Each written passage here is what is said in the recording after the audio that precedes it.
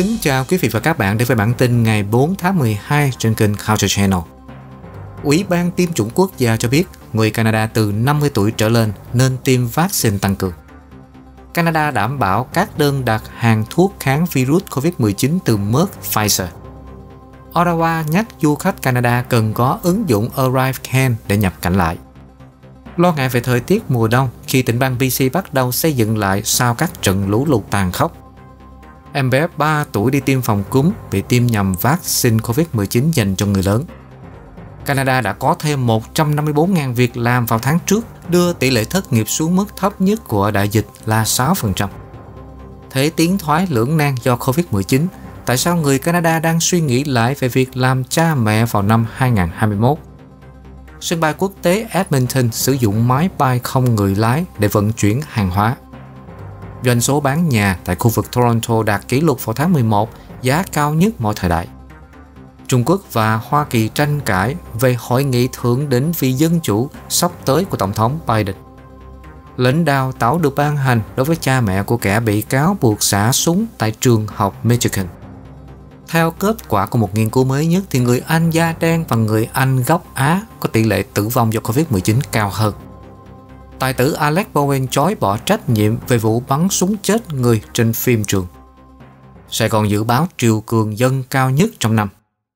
Tuấn Liêm và biên tập viên Sammy Hoàng xin kính chào quý vị và cảm ơn quý vị đến đây để theo dõi bản tin hàng ngày của Culture Channel do tạp chí Culture Magazine thực hiện. Để ủng hộ cho chương trình này thì xin quý vị nhớ bấm like, comment và share cho mọi người cùng xem. Xin cảm ơn quý vị. Và sau đây, Sammy Hoàng sẽ mở đầu với bản tin chi tiết.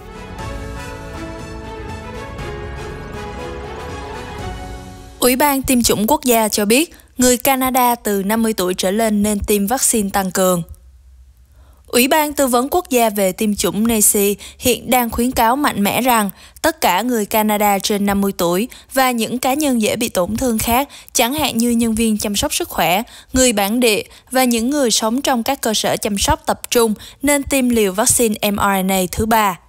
Trong một báo cáo mới được công bố hôm nay, NICI cũng kêu gọi người Canada từ 18 đến 49 tuổi nên tiêm liều vaccine mRNA thứ ba ít nhất 6 tháng sau khi họ tiêm mũi thứ hai.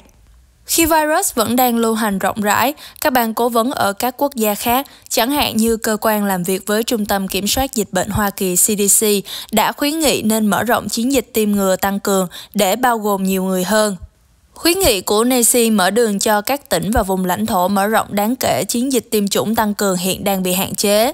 Vaccine COVID-19 được Bộ Y tế Canada chấp thuận sử dụng đã được chứng minh là rất hiệu quả trong việc chống nhiễm trùng, bệnh nặng, nhập viện và tử vong.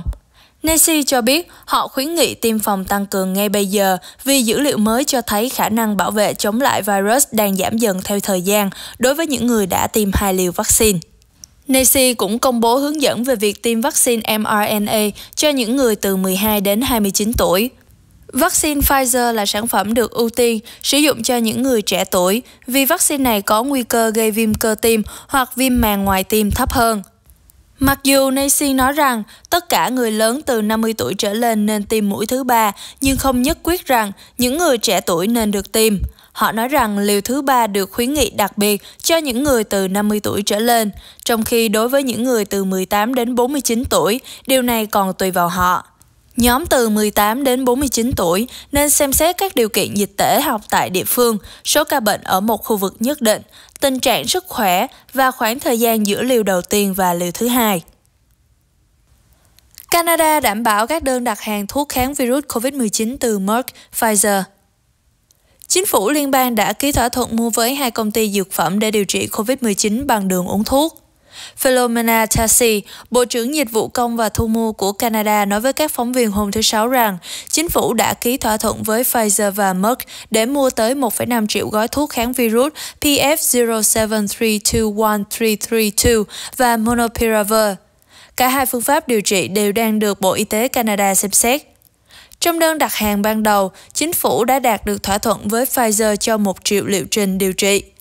Thỏa thuận của chính phủ với Merck là lên đến 500 triệu liệu trình điều trị, với một tùy chọn nữa là thêm 500 ngàn. Vào hôm thứ Tư, Pfizer đã đệ trình với Bộ Y tế Canada về thuốc của mình. Loại thuốc này được cho là được thiết kế để ngăn chặn một loại enzyme quan trọng cần thiết cho virus COVID-19 nhân lên. Pfizer cũng cho biết phương pháp điều trị của họ có thể giảm 89% tỷ lệ nhập viện hoặc tử vong đối với những người trưởng thành có nguy cơ mắc bệnh nặng. Tuần trước, Merck đã chia sẻ dữ liệu cho thấy thuốc của họ kém hiệu quả hơn đáng kể so với kỳ vọng trước đây, giảm khoảng 30% số ca nhập viện và tử vong ở những người có nguy cơ cao. Ottawa nhắc du khách Canada cần có ứng dụng ArriveCan để nhập cảnh lại. Chính phủ liên bang nhắc nhở rằng du khách Canada phải sử dụng ứng dụng ArriveCan để tái nhập cảnh sau khi có báo cáo về những công dân đã tiêm phòng bị buộc phải cách ly do nhầm lẫn ở biên giới đất liền Canada-Hoa Kỳ. Bộ trưởng Bộ Y tế Johnny Duclos cho biết, Tôi muốn nhắc nhở tất cả du khách, người Canada và công dân nước ngoài di chuyển bằng đường bộ, đường hàng không hoặc đường thủy cho các chuyến đi dài ngày hoặc ngắn ngày. Họ phải gửi thông tin sức khỏe và du lịch vào trong ứng dụng hoặc trang web ArriveCan trước khi đến Canada. Đây là điều bắt buộc. Bình luận của Bộ trưởng Y tế được đưa ra sau khi một số công dân Canada đã tiêm chủng được thông báo rằng họ phải cách ly ở nhà trong 14 ngày sau khi không đăng ký bằng ứng dụng của chính phủ. Tháng trước, các quy tắc đã thay đổi để cho phép người dân Canada đã được tiêm phòng đầy đủ tái nhập cảnh vào đất nước này trong vòng 72 giờ trở lại mà không cần cung cấp xét nghiệm PCR âm tính. Tuy nhiên, du khách vẫn phải gửi thông tin bắt buộc, bao gồm bằng chứng đã tiêm phòng, ngày đi và kế hoạch cách ly trong ứng dụng ArriveCan trước khi đến Canada. Bộ trưởng Duclos nói, Du khách nước ngoài không gửi thông tin của họ qua ArriveCan có thể bị từ chối nhập cảnh vào Canada. Những người Canada không gửi thông tin của họ qua ArriveCan sẽ không đủ điều kiện để được miễn trừ và có thể phải đối mặt với sự chậm trễ tại biên giới và các khoản phạt. Lo ngại về thời tiết mùa đông khi PC bắt đầu xây dựng lại sau các trận lũ lụt tàn khốc. Sau khi một loạt các cơn bão dữ dội lắng xuống, một quá trình xây dựng lại lâu dài và gian khổ sẽ bắt đầu cho các cộng đồng khắp miền Nam British Columbia. Cơn bão thứ ba trong vòng chưa đầy một tuần đã đi qua vào ngày thứ năm, kết thúc tháng 11 ẩm ướt nhất được ghi nhận trong nhiều năm tại PC. Theo Bộ trưởng An toàn Công cộng của tỉnh PC, ông Mike Farnworth, điều kiện thời tiết tồi tệ nhất ở tỉnh đã qua. Ông cho biết công việc khôi phục sẽ bao gồm sửa chữa các tuyến đường giao thông quan trọng, khôi phục các hoạt động nông nghiệp và đưa hàng ngàn người sơ tán trở về nhà của họ. Bộ trưởng Bộ chuẩn bị khẩn cấp ông Blue cho biết chính phủ liên bang đang làm việc rất chặt chẽ với các chính quyền địa phương để giúp đỡ những người bị ảnh hưởng bởi lũ lụt. Tuy nhiên, nhiệt độ thấp và tuyết có thể làm phức tạp các nỗ lực phục hồi. Bộ Môi trường Canada đã ban hành một tuyên bố thời tiết đặc biệt cảnh báo về tình trạng tuyết ướt ở nhiều khu vực ở phía Tây Nam, bao gồm cả thung lũng Fraser bị ngập lụt. Tại cộng đồng Princeton, thị trưởng Spencer Coy cho biết nhiệt độ đóng băng sẽ mang lại nhiều thách thức cho nỗ lực làm sạch thị trấn. Nhiều cư dân buộc phải sơ tán khỏi nhà của họ với hơn một nửa thị trấn ở dưới nước vào giữa tháng 11. Một số trường học trong học khu Nicholas Milkamin bao gồm Princeton và Merritt đang mở cửa trở lại. Ở Merritt, kể từ ngày thứ Sáu, trường tiểu học Merritt Bench và trường tiểu học Nicola Canford đã mở cửa.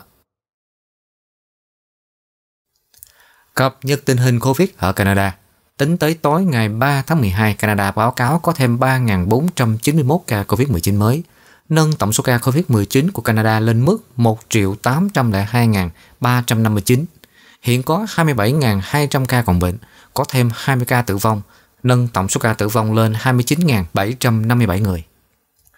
Cho đến nay, đã có hơn 61,7 triệu mũi vaccine đã được tiêm trên khắp Canada, trong đó có hơn 30,6 triệu người hay là hơn 80,2% dân số đã được tiêm ít nhất một liều và 76% dân số đã tiêm hai liều. Hơn 2 triệu người đã tiêm liều thứ ba 84,3% số người từ 5 tuổi trở lên đã tiêm một liều và 79,9% đã tiêm hai liều. Tại tỉnh Ontario, các quan chức của tỉnh đã báo cáo có 1.031 ca nhiễm COVID-19 mới, đánh dấu lần đầu tiên trong hơn 6 tháng tổng số hàng ngày trên 1.000 ca. Tỉnh có 4 ca tử vong. Tại tỉnh Quebec, báo cáo có 1.355 ca nhiễm mới và 2 ca tử vong. Newfoundland và Labrador có 5 ca nhiễm COVID-19 mới được báo cáo tại tỉnh, nâng tổng số ca mắc lên 20 ca. Tại tỉnh Manitoba, các quan chức y tế công bố có 147 ca bệnh mới và 4 ca tử vong và 91 ca hồi phục. Saskatchewan, tỉnh này báo cáo có 78 ca bệnh mới và 1 ca tử vong. Nova Scotia có 20 ca bệnh mới và 34 ca hồi phục. New Brunswick có gần 100 ca nhiễm mới đã được báo cáo trong tỉnh. Cụ thể là có 97 ca bệnh mới và 75 ca được hồi phục. Alberta, tỉnh báo cáo có 349 ca nhiễm COVID-19 mới và một ca tử vong. Prince Edward Island có một ca bệnh mới. Yukon, các quan chức y tế báo cáo có thêm 4 ca bệnh mới. Và British Columbia, tỉnh đã báo cáo có 405 ca bệnh mới, 6 ca tử vong và 353 ca hồi phục. Em bé 3 tuổi đi tiêm phòng cúm bị tiêm nhầm vaccine COVID-19 dành cho người lớn. Jenna Patterson cho biết con gái 3 tuổi của cô, Dali, rất khỏe mạnh.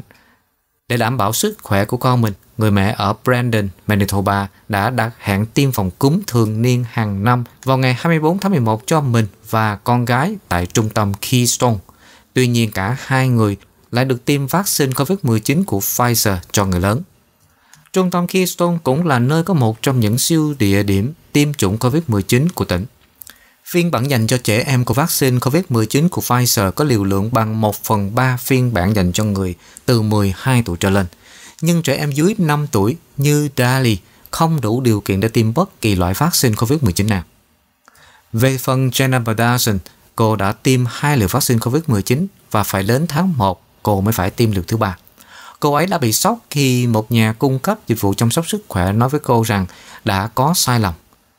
Padason cho biết cả cô và con gái đều bị sốt và đau đầu. Daly bắt đầu nôn mửa vài ngày sau khi tiêm thuốc. Hơn một tuần sau, Patterson cho biết cô vẫn chưa nhận được câu trả lời từ các quan chức y tế về việc vaccine mà họ tiêm nhầm có thể ảnh hưởng đến sức khỏe của cô và con gái của cô như thế nào. Parason không muốn kinh nghiệm của mình làm ngăn cản những người khác đi tiêm vaccine, nhưng khuyến khích họ đặt câu hỏi. Cô nói, nếu bạn đưa con mình hoặc thậm chí chính mình đi tiêm phòng cúm thì hãy kiểm tra với nhà cung cấp dịch vụ chăm sóc sức khỏe để bảo đảm rằng họ có đúng loại thuốc. Trong một tuyên bố gửi qua email cho CPC, Manitoba Health và Senior Care thừa nhận một phụ nữ và một đứa trẻ 3 tuổi đã bị tiêm nhầm vaccine Pfizer-BioNTech cho người lớn và cho biết họ đã điều tra vụ việc. Tuyên bố cho biết những sai sót về thuốc như vậy rất hiếm nhưng vẫn xảy ra. Cô Badassons nói với CBC rằng cô hy vọng các biện pháp mới sẽ được áp dụng để bảo đảm sự cố tương tự không xảy ra với bất kỳ ai khác.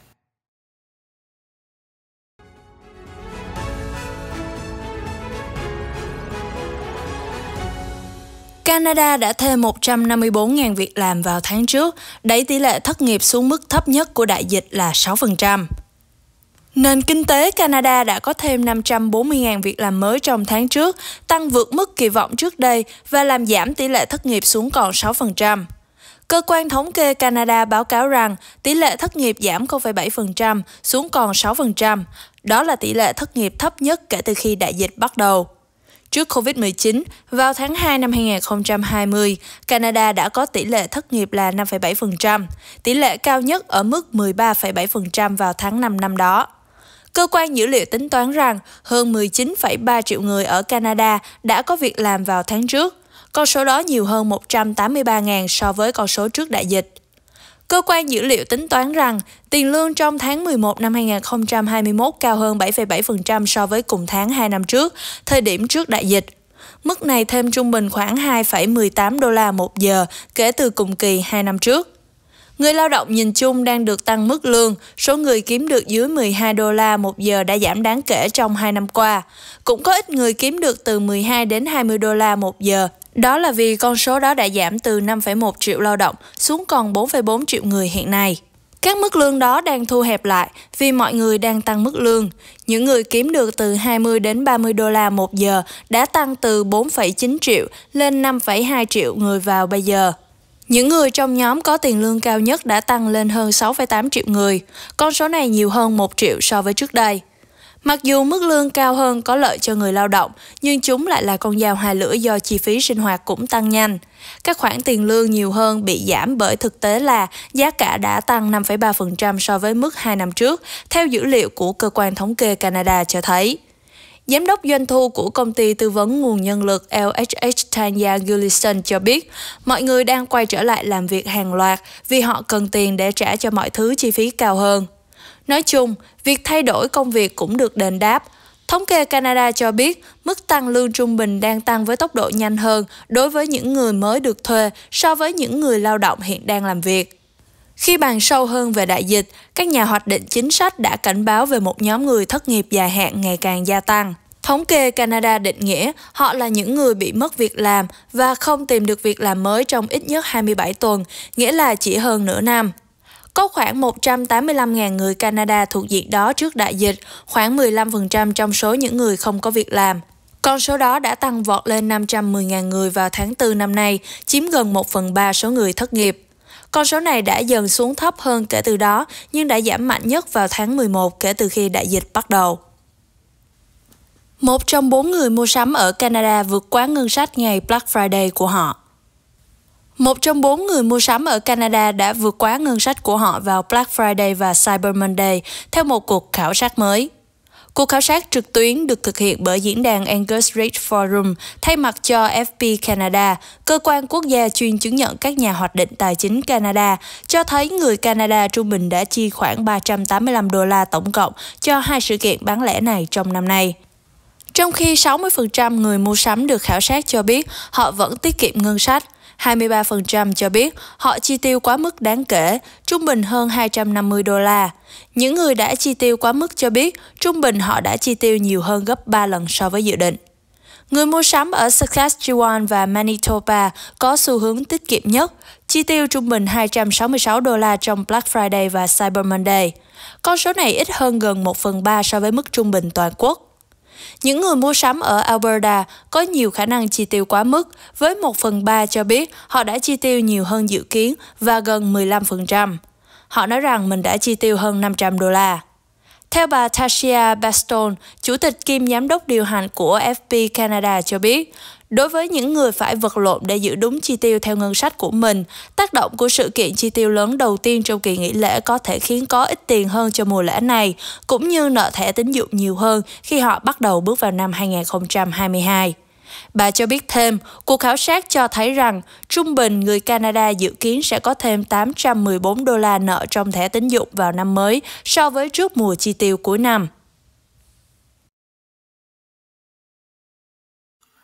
Tiến thoái lưỡng nan do Covid-19. Tại sao người Canada đang suy nghĩ lại về việc làm cha mẹ vào năm 2021? Gần một phần tư, khoảng 24% người Canada từ 15 tới 49 tuổi đã thay đổi kế hoạch sinh con của họ vì đại dịch Covid-19, theo một báo cáo của Cơ quan Thống kê Canada. Nghiên cứu mới được thực hiện từ tháng 4 đến tháng 6 năm 2021 đã cho thấy gần 1 phần 5 người Canada hiện muốn có ít con hơn. Trong khi đó, 14% cho biết họ muốn có con muộn hơn dự định ban đầu. Những câu trả lời này phổ biến hơn ở những người chưa có con hoặc những người thuộc các nhóm thiểu số. Các chuyên gia y tế đồng ý với phát hiện này và cho biết có nhiều gia đình có kế hoạch bắt đầu hay là muốn có thêm thành viên cho gia đình của họ đã bị thay đổi nghiêm trọng do đại dịch. Áp lực về kinh tế, công việc bấp bênh và khả năng chi trả cuộc sống là những yếu tố chính khiến cho những người này trì hoãn việc sinh con.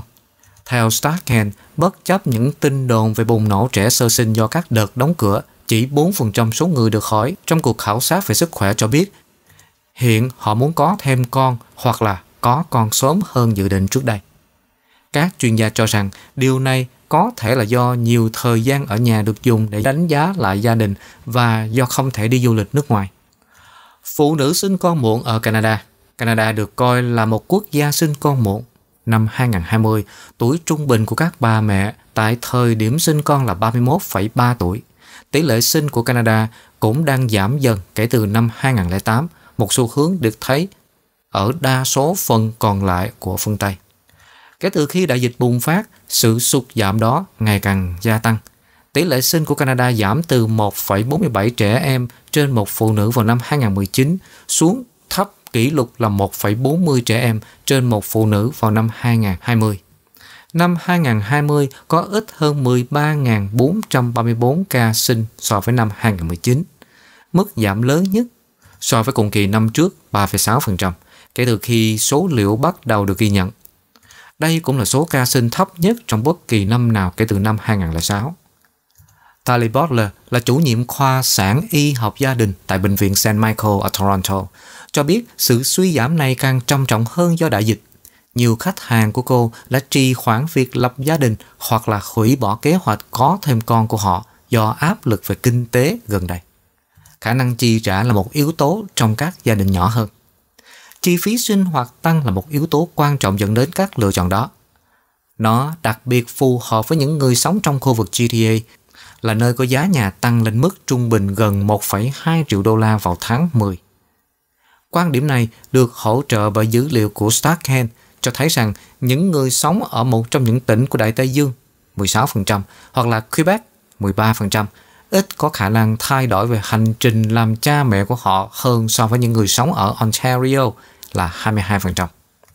Các tác giả báo cáo đã chỉ ra khả năng chi trả nhà ở và áp lực kinh tế liên quan đến COVID là một yếu tố có thể xảy ra.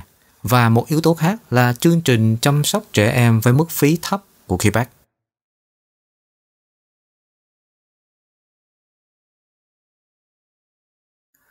Đối với người lái xe tải của Canada, Hoa Kỳ cảnh báo chính sách phát sinh sẽ làm gián đoạn chuỗi cung ứng.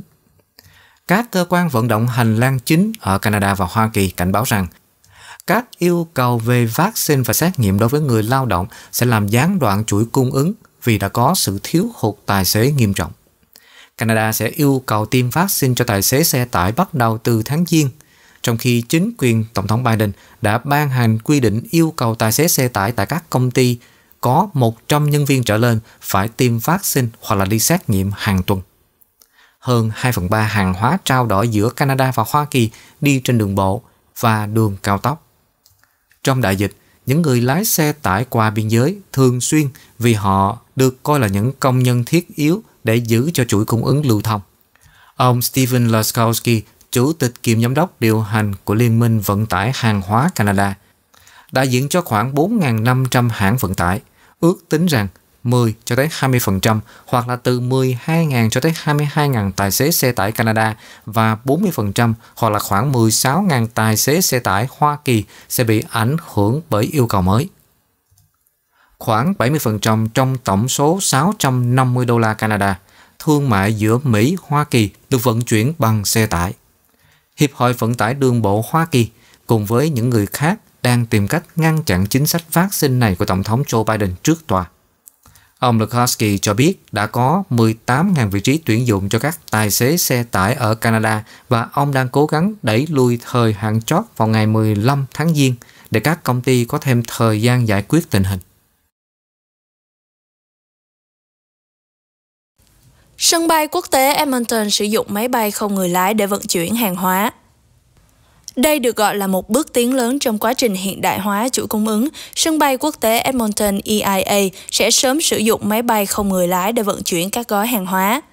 Lần đầu tiên ở Canada, EIA sử dụng máy bay không người lái Sparrow của Drone Delivery Canada DDC để bay từ sân bay đến một địa điểm ở hạt Leduc. Đây là lần đầu tiên một hoạt động như vậy được Hải quân Canada chấp thuận. Vùng trời xung quanh tất cả các sân bay bị hạn chế rất nhiều vì lý do an toàn và hoạt động bay không người lái bị cấm nếu không được cho phép. Sân bay cho biết họ và DDC đã dành nhiều tháng làm việc để có thể phê duyệt và quy trình an toàn mới để loại hình hoạt động này khả thi. EIA cho biết máy bay không người lái Sparrow sẽ sớm vận chuyển các gói hàng hóa thương mại, thay mặt cho khách hàng là Zing Final Mile và Apple Express. Air Canada Cargo hoạt động với tư cách là đại lý chính thức cho DDC. Sân bay tin rằng đây có thể là bước tiếp theo trong việc vận chuyển sản phẩm y tế hàng hóa nhạy cảm đến cả các khu vực đông dân cư như Edmonton, cũng như các hoạt động vùng sâu vùng xa, bản địa và phía Bắc. Sân bay cũng tin rằng máy bay không người lái cũng có thể được sử dụng trong những km cuối cùng của một số hành trình nhất định để giảm lưu lượng phương tiện và lượng khí thải. Doanh số bán nhà tại khu vực Toronto đạt kỷ lục tháng 11, giá cao nhất mọi thời đại. Thị trường bất động sản nóng hổi của khu vực Greater Toronto tiếp tục gia tăng vào tháng trước khi doanh số bán nhà đạt mức kỷ lục trong tháng 11 và giá bán trung bình đạt mức cao mới mọi thời đại.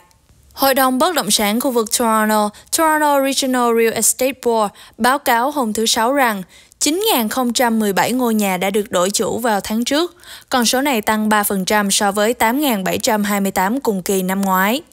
Giá nhà trung bình trong khu vực tăng lên mức 1.163.323 đô la, tăng gần 22% so với mức 955.889 đô la vào tháng 11 năm 2020.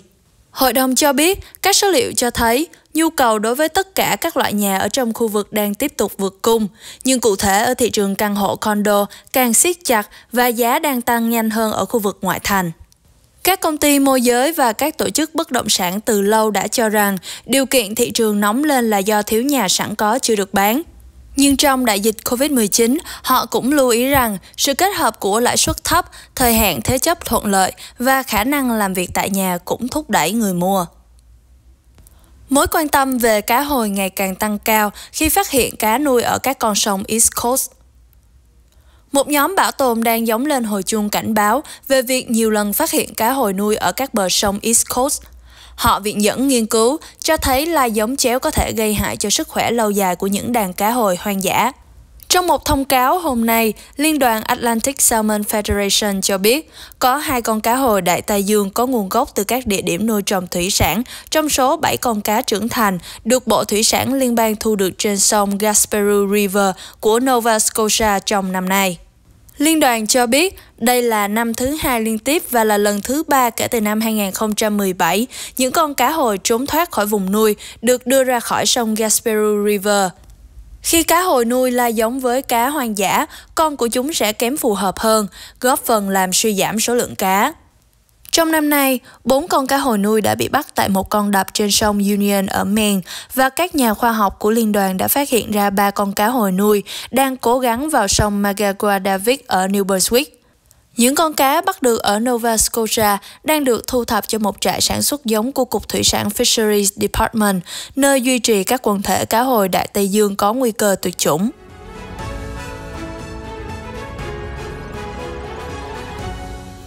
Quý vị và các bạn đang theo dõi bản tin Canada và Thế giới trên kênh Culture Channel. Kính mời quý vị đăng ký kênh và bật thông báo để theo dõi các video tiếp theo. Xin cảm ơn quý vị. Tiếp theo sau bản tin Canada là một số tin tức thế giới đáng chú ý khác. Mời các bạn tiếp tục theo dõi sau đây. Trung Quốc và Hoa Kỳ tranh cãi nhau về hội nghị thượng đỉnh vì dân chủ sắp tới của Tổng thống Biden. Lệnh đào tảo được ban hành đối với cha mẹ của kẻ bị cáo buộc xả súng tại trường học Michigan các nhà sản xuất thuốc giảm giá trung bình 62% để có thể lọt vào danh sách thuốc bảo hiểm của nhà nước Trung Quốc. Theo kết quả của một nghiên cứu mới nhất thì người Anh da đen và người Anh gốc Á có tỷ lệ tử vong do Covid-19 cao hơn. Gần một nửa số gia đình Hoa Kỳ có con nhỏ phải đối mặt với nguy cơ nghèo đói cao do việc làm không ổn định. Tài tử Alec Baldwin chối bỏ trách nhiệm về vụ bắn súng gây chết người trên phim trường sẽ còn dự báo triều cường dân cao nhất trong năm. Trung Quốc và Hoa Kỳ tranh cãi về hội nghị thượng đỉnh vì dân chủ sắp tới của Tổng thống Biden. Trung Quốc và Hoa Kỳ hiện đang tranh cãi về hội nghị thượng đỉnh dân chủ sắp tới của Tổng thống Joe Biden, một hội nghị mà đảng cầm quyền Trung Quốc coi đó như là lời thách thức đối với đường lối độc tài của mình. Đảng cầm quyền của Trung Quốc có hình thức dân chủ riêng của họ và vì vậy, trước thềm diễn ra hội nghị thượng đỉnh vì dân chủ của Tổng thống Biden với khoảng 110 chính phủ khác, Trung Quốc hiện lên kế hoạch cho phát hành một báo cáo có tiêu đề Nền dân chủ của Trung Quốc là hệ thống thực thi vào thứ Bảy. Về phía Hoa Kỳ, Nhà Trắng đã đáp trả lời chỉ trích của Trung Quốc đối với hội nghị lần này, sau khi một quan chức cấp cao của Trung Quốc nói rằng hội nghị nhằm chia rẽ các quốc gia và hướng mũi dùi chỉ trích vào những người khác. Theo thư ký báo chí Nhà Trắng Jen Psaki cho biết, những nước tham gia hội nghị lần này sẽ thảo luận về cách làm việc cùng nhau để bảo vệ nền dân chủ trên toàn thế giới, đồng thời cho rằng Hoa Kỳ chẳng việc gì mà phải xin lỗi vì điều đó. Tổng thống Biden đã coi sự cạnh tranh giữa các nền dân chủ và các chế độ chuyên quyền như Nga và Trung Quốc trở thành một chủ đề trọng tâm trong nhiệm kỳ tổng thống của ông. Cả Nga và Trung Quốc đều không được mời tham dự hội nghị thượng đỉnh vì dân chủ lần này của Tổng thống Biden. Đảng cầm quyền Trung Quốc đã phản ứng bằng cách cho rằng hệ thống của họ phục vụ cho người dân trong nước, dẫn chứng qua việc nước này đã nhanh chóng phát triển thành một quốc gia có thu nhập trung bình, cũng như việc họ là một nước tương đối thành công khi hạn chế được số người chết do COVID-19. Các quan chức Trung Quốc cũng thường xuyên nêu bật những thất bại của nền dân chủ Mỹ, từ bạo lực súng đạn đến cuộc nổi dậy tại Điện Capitol sau cuộc bầu cử tổng thống vừa qua. Ngoài ra, Mỹ cũng khiến Trung Quốc tức giận khi đưa Đài Loan vào danh sách tham dự hội nghị thượng đỉnh vì dân chủ, bởi Trung Quốc vốn đã luôn tuyên bố rằng Đài Loan là một phần lãnh thổ của mình và phản đối việc nước này có bất kỳ liên hệ nào với các chính phủ nước ngoài. Cha mẹ của nghi phạm nổ súng ở trường trung học Michigan bị truy lùng, nhưng hai luật sư nói rằng họ không bỏ trốn. Vài giờ sau khi một công tố viên công bố cáo buộc ngộ sát không tự nguyện chống lại cha mẹ của Ethan Crumpley, 15 tuổi, người bị cáo buộc giết chết bốn bạn học tại một trường trung học ở Michigan, nhà chức trách cho biết cha mẹ này đang mất tích. Cặp đôi bị buộc tội ngộ sát không tự nguyện vì mua cho con trai của họ vũ khí làm quà Giáng sinh và bỏ qua các dấu hiệu cảnh báo vào cuối ngày của vụ bắn súng. Nhưng trong một bước ngoặt khác, hai luật sư nói rằng họ đại diện cho cặp đôi đã đưa ra một tuyên bố rằng vợ chồng Clumpy đã rời thị trấn vì sự an toàn của họ và đang quay trở lại để dàn xếp. Công tố viên hạt Auckland, bà Karen McDonald, đã thông báo rằng cha mẹ của Ethan Crumbley 15 tuổi là ông bà Crumbley hiện đang phải đối mặt với bốn tội danh ngộ sát không tự nguyện. Theo bà McDonald, bằng chứng dẫn đến quyết định buộc tội hai vị phụ huynh bao gồm việc Ethan Compley đã có mặt tại thời điểm mà cha mẹ em mua vũ khí. Công tố viên Michigan cũng trích dẫn một bài đăng trên mạng xã hội của mẹ Ethan rằng vợ chồng của họ đã mua vũ khí cho con mình làm món quà Giáng sinh. Ngoài ra, bà McDonald cũng thảo luận thêm về những bức tranh mà Ethan đã vẽ, trong đó mô tả một khẩu súng đang chỉ vào dòng chữ những dòng suy nghĩ sẽ không dừng lại, hãy giúp tôi, và mối liên hệ của chúng với việc người nào đó đã bị bắn hai phát súng. Bà McDonald nói, sự thật của vụ án này quá nghiêm trọng. Khi đọc tài liệu này, nhìn vào nó và đọc dòng chữ giúp tôi với một khẩu súng và có máu ở khắp nơi. Với ý nghĩ rằng một bậc cha mẹ có thể đọc những dòng chữ đó và cũng biết rằng con trai của họ đã tiếp cận với một loại vũ khí chết người do chính họ cung cấp là vô lương tâm và tôi nghĩ đó là một vụ phạm tội. Sau khi nổ súng khiến 4 học sinh thiệt mạng và làm bị thương 7 người khác tại một trường trung học ở Michigan vào đầu tuần này, bản thân Ethan Crumbley hiện đang phải đối mặt với 24 tội danh. Nó bao gồm một tội danh khủng bố gây chết người, bốn tội danh giết người cấp độ 1, mức độ nghiêm trọng nhất, trong đó người thực hiện vụ giết người đã dự tính và lên kế hoạch trước, 7 tội danh tấn công với ý định giết người và 12 tội danh sở hữu một khẩu súng trong vụ phạm trọng tội. Các nhà sản xuất thuốc giảm giá trung bình 62% để được nằm trong danh sách thuốc bảo hiểm của Trung Quốc. Các công ty dược phẩm đã đồng ý giảm giá trung bình 61,7% đối với 67 loại thuốc nằm trong danh sách bảo hiểm y tế quốc gia của Trung Quốc, nhà chức trách Trung Quốc cho biết hôm thứ Sáu. Việc được đưa vào danh sách thuốc hoàn trả quốc gia đã giúp cho nhiều nhà sản xuất thuốc toàn cầu như là Merck và Novartis ghi nhận mức tăng trưởng doanh số bán sản phẩm mạnh mẽ ở Trung Quốc trong những năm gần đây khi các sản phẩm của họ được phổ biến rộng rãi hơn. Theo cơ quan quản lý an ninh chăm sóc sức khỏe quốc gia, gọi tắt là NHSA, các sản phẩm của các công ty trong nước như Inocare Pharma và Beijing cũng được nằm trong danh sách. Năm ngoái, các nhà sản xuất thuốc đã đồng ý giảm giá trung bình khoảng 50% cho hơn 100 loại thuốc, nhấn mạnh khả năng thương lượng mạnh mẽ của Trung Quốc khi nước này tìm cách tạo ra nhiều loại thuốc hơn với giá cả phải chăng cho 1,4 tỷ dân của mình. Ông Hoàng Hoa Bâu, quan chức của NHSA, cho biết trong một cuộc họp báo mà không nêu tên sản phẩm, mức giảm giá sâu nhất trong số 67 loại thuốc là 94%. Tháng trước, các nhà sản xuất insulin đã đồng ý giảm giá trung bình 48% để đủ điều kiện cung cấp số lượng lớn cho các bệnh viện công NHSA cho biết ngoài 67 biệt dược, 7 loại thuốc có phiên bản gốc cũng được thêm vào trong danh sách. Trong khi đó thì 11 loại thuốc có giá trị lâm sàng thấp đã bị loại bỏ.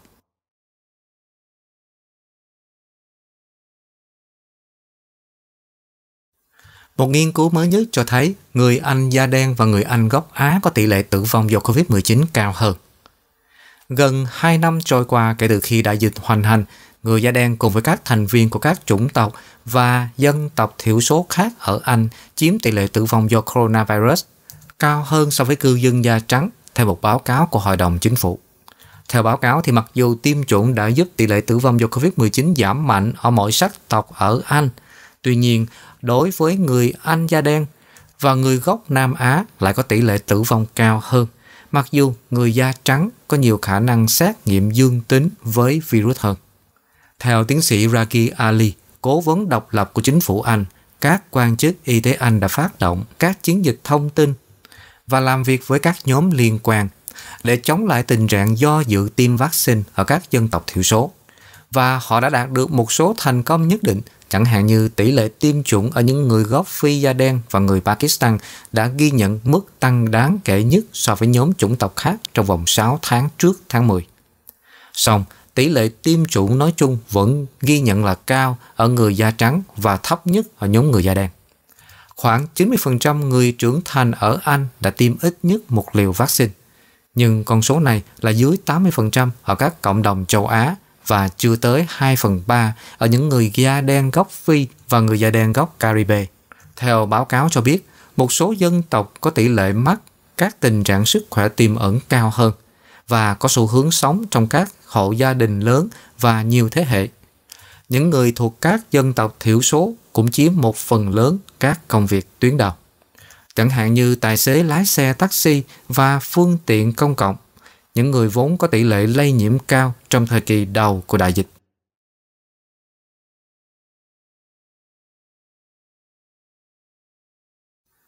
Sau đây là bản tin cập nhật về tình hình COVID-19 trên thế giới.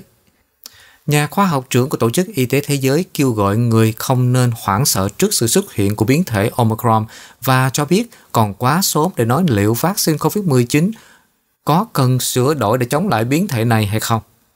Phát biểu tại một hội nghị tiếp theo của Reuters, Somia Swaminathan cũng cho biết không thể dự đoán được liệu Omicron có trở thành chủng vi khuẩn nổi trội hay không.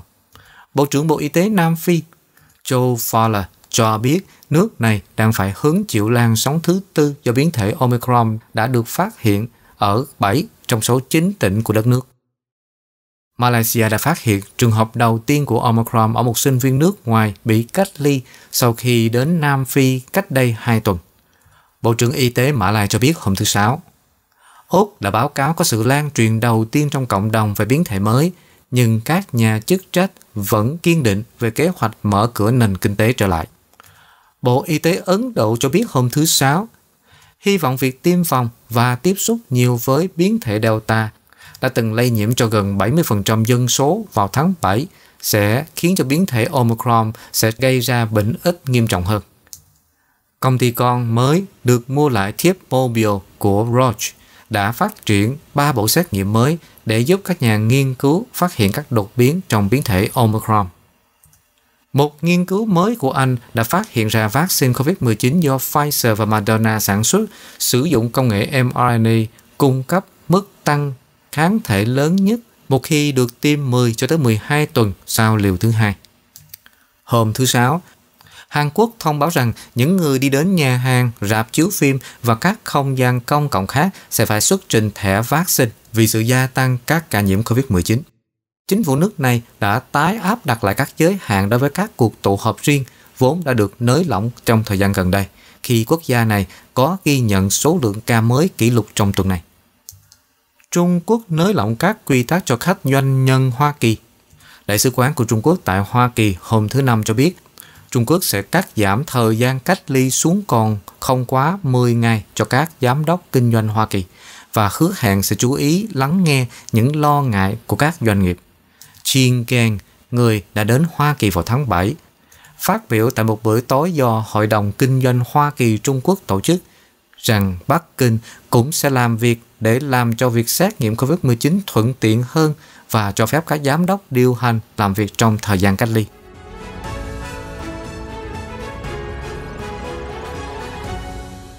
Gần một nửa số gia đình Hoa Kỳ có con nhỏ phải đối mặt với nguy cơ nghèo đói cao do việc làm không ổn định. Theo một nghiên cứu học thuật mới, gần một nửa số gia đình Hoa Kỳ có con nhỏ phải đối mặt với nguy cơ nghèo đói cao trong 6 năm đầu đời của con cái họ. Bốn chỉ số được sử dụng để đo lường sự ổn định việc làm của cha mẹ, đó là lịch trình làm việc, nghề nghiệp, tiền lương theo giờ và giờ làm việc hàng tuần. Nghiên cứu cho thấy nếu những yếu tố đó không ổn định, con cái của họ có nhiều khả năng phải trải qua cảnh nghèo đói trong những năm đầu đời. Điều đó đã để lại hậu quả lâu dài cho những đứa trẻ được nghiên cứu, hiện là những người trẻ tuổi.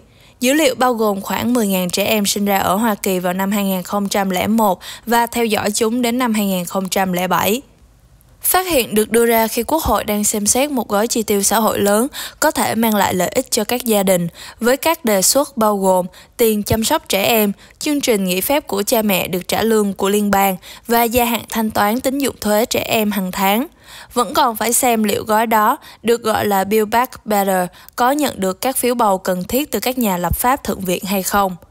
Trong một cuộc phỏng vấn, giáo sư Đại học New York Wen Chuhan, người đồng tác giả nghiên cứu, cho biết dữ liệu tập trung vào các gia đình trong những năm hoàng kim về kinh tế trước cuộc đại suy thoái hơn một thập kỷ trước. Vào thời điểm đó, người lao động, đặc biệt là những người trong các ngành dịch vụ, bị áp lực phải làm việc 24 trên 7 khi các ngành công nghiệp phải đối mặt với những yêu cầu mới để duy trì tính cạnh tranh trong bối cảnh toàn cầu hóa gia tăng.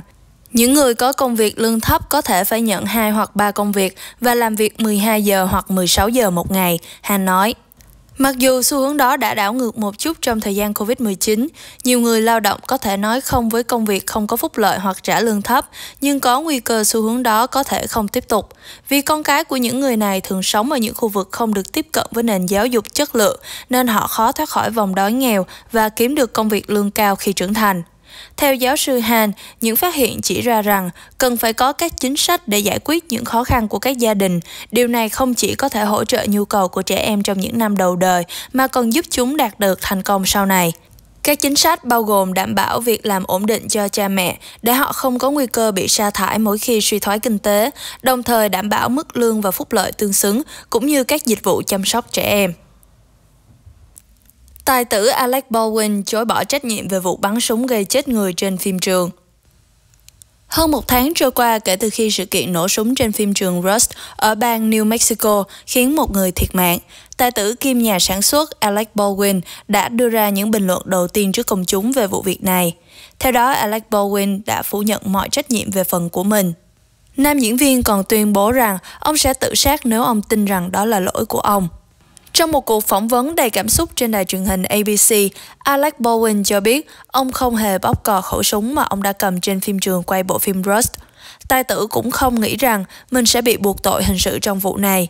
Ông cũng cho rằng ông sẽ không bao giờ chĩa súng vào bất kỳ ai và bóp cò. Tai nạn trên phim trường Rust hôm 21 tháng 10 đã khiến nữ đạo diễn hình ảnh Halia Hutchins thiệt mạng và đạo diễn Joel Souza bị thương khi khẩu súng mà Bowen cầm đã được nạp đạn thật. Theo đó, tài tử cho rằng ông đã được thông báo là khẩu súng an toàn bởi các thành viên phụ trách việc kiểm tra vũ khí. Trong phần mô tả công khai đầu tiên của mình về những gì đã xảy ra, tài tử nói rằng khẩu súng lục bán tự động Colt đã bắn đạn thật khi ông đang kê súng và diễn tập các góc máy với Hutchins. Ban đầu ông Bowen nghĩ rằng nữ đạo diễn đã ngất xỉu và phải đến vài giờ sau, ông mới được thông báo rằng cô đã chết. Sự việc này khiến nam diễn viên không thể tưởng tượng được rằng ông sẽ tiếp tục làm bộ phim liên quan đến súng thêm một lần nào nữa. Mặc dù Bowen đã nhận nhiều chỉ trích vì ông đã không tự mình kiểm tra súng kỹ lưỡng, nhưng trong cuộc phỏng vấn, ông khẳng định rằng đó không phải là công việc của một diễn viên. Vụ tai nạn trên phim trường Rust, bao gồm cả việc làm thế nào mà đạn thật được đưa đến phim trường, vẫn đang được các nhà chức trách ở New Mexico điều tra, hiện vẫn chưa có cáo buộc hình sự nào được đệ trình. Đến nay có hai thành viên đoàn phim đã đệ đơn kiện dân sự cáo buộc Boeing, nhà sản xuất và những người khác về sự cẩu thả và lỏng lẻo trong các quy trình về an toàn trên phim trường. Sài Gòn dự báo triều cường dân cao nhất trong năm. Triều cường có thể lên tới 1,68 đến 1,73 mét dọc theo sông Sài Gòn, dự kiến sẽ xảy ra ngập lụt đô thị trên toàn thành phố vào cuối tuần này. Trung tâm khí tượng thủy văn khu vực Nam Bộ hôm thứ Sáu cho biết triều cường rất có thể sẽ xuất hiện vào lúc 2 cho tới 4 giờ chiều và 5 cho tới 7 giờ chiều từ thứ Sáu đến Chủ nhật. Theo đó, tác động của gió mùa đông bắc sẽ khiến cho mực nước hạ lưu dọc theo hệ thống sông Đồng Nai, sông Sài Gòn dâng cao. Triều cường sẽ đạt đỉnh trong vòng 2 ngày tới. ở mức 1m73, mức cao nhất kể từ đầu năm theo trung tâm cho biết.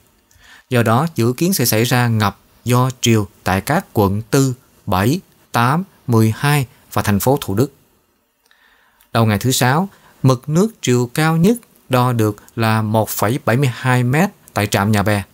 Nước dâng cao khiến cho một số tuyến đường bị ngập ở quận 7 và quận 4, huyện Nhà Bè, huyện Bình Chánh và thành phố Thủ Đức.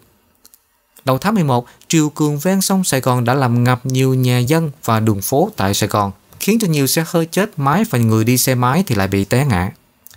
Vào năm ngoái, triều cường tại thành phố đã đạt đỉnh cao ở mức 1m76 vào giữa tháng 11. Cập nhật tình hình COVID tại Việt Nam Bản tin dịch COVID-19 ngày 3 tháng 12 của Bộ Y tế cho biết có 13.670 ca mắc COVID-19 tại 59 tỉnh, thành phố. Ngoài ra, Sở Y tế của Thừa Thiên Huế cũng đăng ký bổ sung thông tin cho 822 ca nhiễm đã được lấy mẫu từ những ngày trước đó. Như vậy thì số ca nhiễm COVID-19 ở Việt Nam kể từ đầu dịch đến nay là 1 triệu 280.780 ca. Số ca mắc COVID-19 trong ngày 3 tháng 12 được ghi nhận chủ yếu tại Sài Gòn có 1.311 ca, Cần Thơ có 982 ca, Hà Nội 791 ca, Sóc Trăng 791 ca, Tây Ninh 779 ca, Đồng Tháp 608 ca, Bình Thuận 581 ca, Bến Tre 571 ca, Vĩnh Long 564 ca. Và Bà Rịa Vũng Tàu 560 ca. Cùng ngày, số ca tử vong do COVID-19 được báo cáo là 200 ca, nâng tổng số ca tử vong tại Việt Nam hiện nay là 25.858 ca. Số bệnh nhân được công bố khỏi bệnh trong ngày là 1.149 ca, nâng tổng số ca được điều trị khỏi lên 1 triệu 6.459 ca. Về tình hình tiêm chủng, trong ngày 2 tháng 12, có 710.914 liều vaccine phòng COVID-19 được tiêm. Như vậy thì tổng số liều vaccine đã được tiêm là 125 triệu 857.027 liều. Trong đó tiêm một mũi là 72 632.858 liều và tiêm mũi 2 là 53 224.169 liều.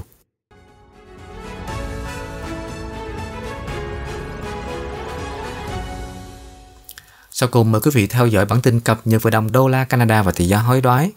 Vào cuối ngày giao dịch hôm nay, một Canada bằng 0,7805 Mỹ Kim và bằng 0,6906 euro và một Canada bằng 17.775,181 đồng Việt Nam. Giá dầu thô WTI là 66 đồng 26 Mỹ Kim một thùng và giá dầu thô Brent là 69 đồng 95 Mỹ Kim một thùng. Giá vàng giao ngay đạt mức 1.783,44 Mỹ Kim một ounce. Rất cảm ơn các bạn đã theo dõi bản tin ngày 4 tháng 12 hôm nay do tạp chí Culture Magazine thực hiện. Chúng tôi mời quý vị đăng ký kênh và bật thông báo để đón xem các video tiếp theo. Culture Magazine có các video tin tức được cập nhật hàng ngày và cũng như có các video về văn hóa, du lịch, ẩm thực, sức khỏe và đời sống được cập nhật hàng tuần. Mời quý vị đón theo dõi. Thay mặt cho ban biên tập, Tuấn Liêm xin kính chúc quý vị và các bạn nhiều sức khỏe và an lành. Xin chân thành cảm ơn và kính chào tạm biệt.